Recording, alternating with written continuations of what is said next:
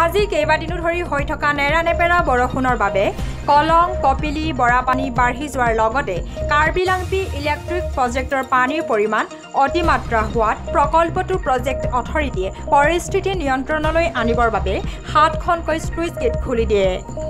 যাৰ ফলত ৰহা সমষ্টিৰ অন্তৰ্গত কমাৰগাঁও পঞ্চায়তৰ বৰণগুৰি বাবৰাটি বন্দৰাটি হাতীগড়কে আদি কৰি কেইবাখনো গাঁও বানৰ কবলত পৰিছে। উল্লেখযোগ্য যে এই বছৰটোতে এইবাৰৰ সৈতে সপ্তমটো বানৰ কবলত পৰিছে অঞ্চলকেইটা।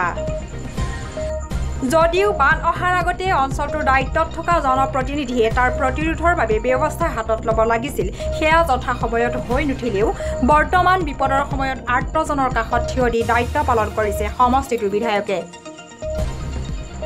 বানাক্ৰান্ত অঞ্চলসমূহ পৰ্যবেক্ষণ কৰি বানপীড়িত লোকসকলৰ ক্ষয় ক্ষতিৰ বুজ লোৱাৰ উপৰিও তেওঁলোকৰ বাবে অতি সোনকালে যথোপযুক্ত ব্যৱস্থা গ্ৰহণ কৰিবলৈ প্ৰশাসনক নিৰ্দেশ প্ৰদান কৰে সমষ্টিটোৰ বিধায়ক ডিম্বেশ্বৰ দাসে। ৰহাৰ পৰা দিব্যজ্যোতি নাথৰ প্ৰতিবেদন টাইম অসম।